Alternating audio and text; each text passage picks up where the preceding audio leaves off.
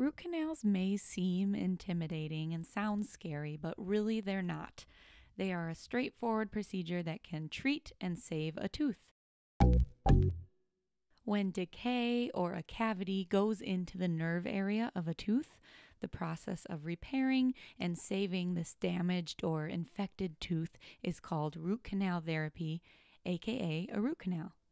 So, the first thing you'll do is take a seat into the root canal room. Usually, there's lots of stuff in the room that can look overwhelming, but truly don't worry about it. It's not something to be overwhelmed about. Next, the dentist or the endodontist will make sure you get nice and numb so you won't feel anything during the procedure. Here you're seeing the patient get nice and numb. From the anesthetic, all you'll feel is a little pinch, and then after that, it's smooth sailing. Now, before starting the procedure, a dental dam will be placed with a clamp around the tooth to isolate the area. Oftentimes, a bite block and saliva ejector will be placed in the mouth as well before the dental dam is secured. The bite block helps the patient not have to stay opened wide the whole entire time, so it prevents the patient's jaw from getting fatigued. Now that everything is ready, you can see that they are securing the dental dam in place. Then they'll place a caulking material. It seals around the tooth and helps block out any fluids that may be coming in and out. So now that we're all set up, the first thing the doctor will do is remove the decay. You can see here that they are drilling the tooth just like they would during a routine filling procedure. You know, when a cavity is being removed and then a filling is placed, it's the same type of drilling happening right here.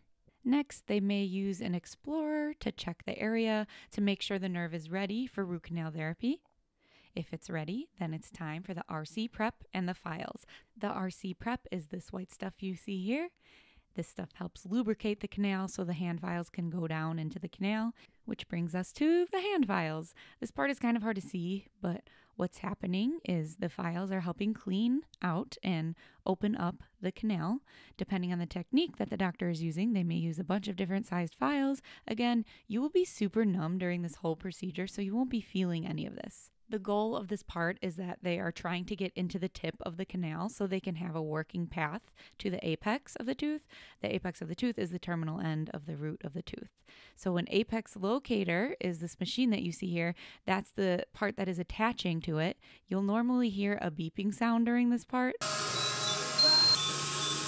But what this apex locator does is just what it says it helps you locate the apex, which is the end of the root of the tooth. Now you can see rotary files being used here. These rotary files are different from the hand files because they are used with the power driven instrument. Next, the hypochlorite is used. This is a cleaning solution that cleans and lubricates the area. You want this area clean and lubricated. An ultrasonic might also be used to get straight line access down the root so the files won't bind. Once they have straight line access, they have confirmation of the depth, and an x ray may be taken now to document this. You may also now hear the dentist and assistant calling out numbers back and forth, such as 20.5, 20.5, 20.5. In this case, in this video, the length to the apex is 20.5. So, depending on how many canals there are, you might hear lots of numbers being called out back and forth. Now, back to the files and then the hypo solution. This may be a pattern for a little bit. They will be reconfirming the length with the files. The goal of the files, again, is to open up the canal. And here we are flushing all the organic material out and all of the infective material out, aka bacteria. We want to flush all that out. So, this pattern of files, cleaning solution, files, cleaning solution, files, cleaning solution, that might happen a few times more. And then after they're done with that pattern, next up is the ultrasonic streaming agitator. This helps get the solution to go in further and deeper. It's kind of like stirring up sugar in coffee. So, really like that analogy. So, it can get into all the little crevices and clean out the canal better. Next, they may use the hypochlorite again. Again, this is a cleaning solution. And then next, there's a new solution called EDTA. This one specifically opens up the pores inside the canal. So the little channels that get blocked up from when they were filing, there's bacteria and the nerve and stuff. So they need to open up those channels and clean them out. Once they are opened up, they agitate and then cleanse them out again. Here you can see they are now doing a pattern of agitating and cleansing. Next, they will use a special suction and a paper point to dry everything up. So basically, they just disinfected everything in there and now they are drying it all up to get everything out of there. Now it's time to seal it up. Gutta percha is a rubber like material that fills the canal. Here you can see the gutta percha dipping into sealer, which gets in between the gutta percha and closes the voids. You can see here the gutta percha is being placed in there now. And then they will use a down packer to condense the gutta percha. So it's kind of like making sure it fills the three dimensional space rather than the two dimensional space. Now, a condenser will help pack it in. Next up is the backfill. And now we're condensing the backfill.